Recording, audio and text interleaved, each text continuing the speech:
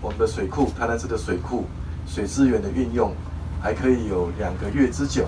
但是呢，我人请啊，我们市民一定要共同面对啊，可以节省的地方还是要节省。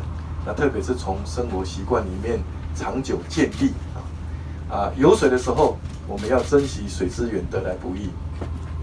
单日雨量没有超过八十毫米的的这个日子啊，已经三百零六天了。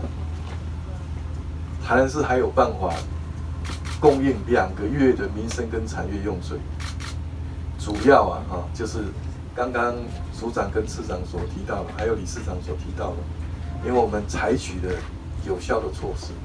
那这有效的措施，简单讲就是四个原则：开源、节流、调度、备源这四个方向。那这四个方向，这四个原则从何而来呢？